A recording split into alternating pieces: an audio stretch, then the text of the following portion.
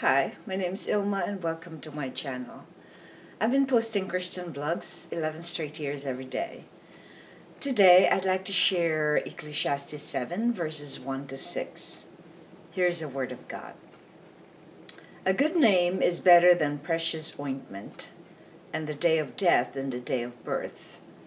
It is better to go to the house of mourning than to go to the house of feasting for this is the end of all mankind, and the living will lay it to heart. Sorrow is better than laughter, for by sadness of face the heart is made glad.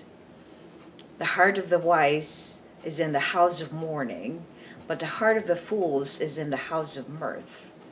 It is better for a man to hear the rebuke of the wise than to hear the song of fools. For as the cracking of thorns under a pot, so is the laughter of the fools. This is also vanity. Ecclesiastes 7 1 to 6. And here's the poem I wrote inspired by those verses The better things in life. What does it truly mean to have a better life? Is it to be wealthy, famous, powerful, or be emulated? A life of integrity and honesty is much better than prosperity. It makes one have less conflicts, live in peace, and have less anxiety. Many people fear death because they don't know Jesus Christ. But if you live, believe in the Lord, even if you die, you will have life. For those who do not know Him, they will easily cling to life on earth they wouldn't want to let go of all their wealth and good health. The laughter of the wicked is not better than those who are mourning.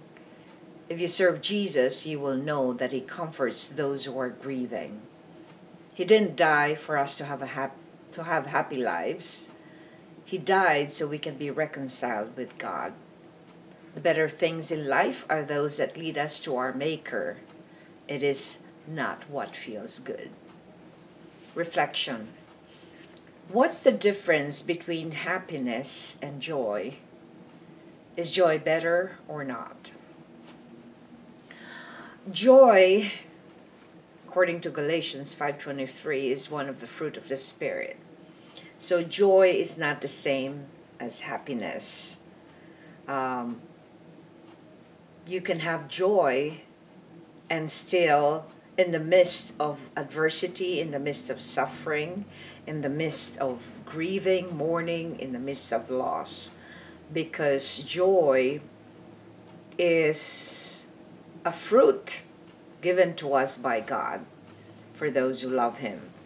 Um, in in the letter of Paul to the different churches, he focuses so much on the importance of embracing suffering.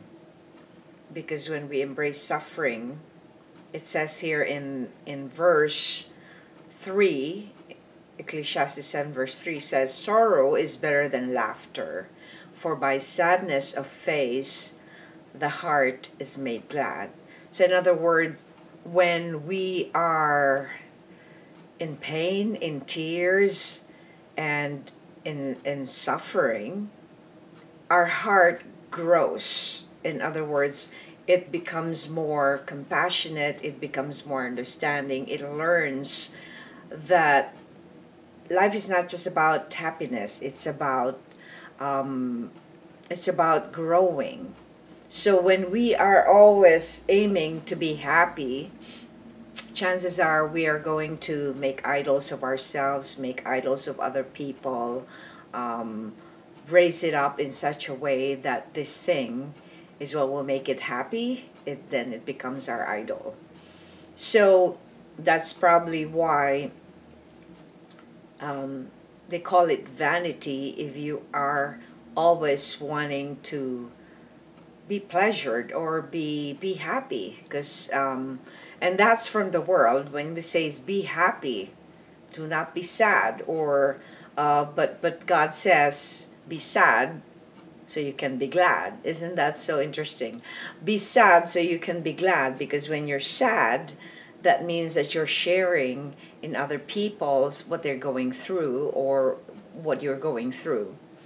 So when we are suffering, we learn to to endure. We learn to grow our character. We learn to um, in in uh, the book of James. It says in uh, chapter one, uh, "Be joyful when you have adversities or, or all kinds of trials or suffering." Well, that is so different from the worldview because the worldview don't want you to suffer. The worldview don't want you to be sad. The worldview wants us to be totally um, happy all the time, and that is impossible because this life is about growing, not about being happy.